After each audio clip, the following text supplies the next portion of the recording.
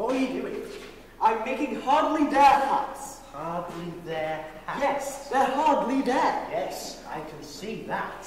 they're hardly there at all. It's mostly consequential. They hardly bother the material though, do they?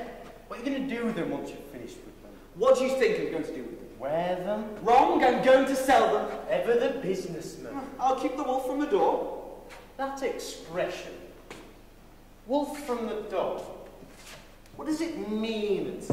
It means uh, make money, survive, you know, feed yourself, your family. I'm your family? You're nobody's family. I don't like the expression.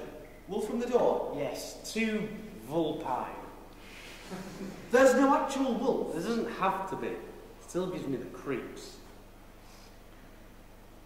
Maybe there is, though. A wolf? At the door?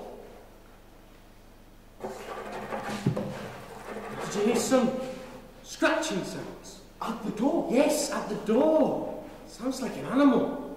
Was it a wolfy noise? Look, I don't know why you're getting so scared. It's a metaphor. I don't care what it's for. I don't want to meet it, that's all. Don't worry, he won't get you. He's not hungry enough yet to come in. You feed him. I have to. To keep him sated.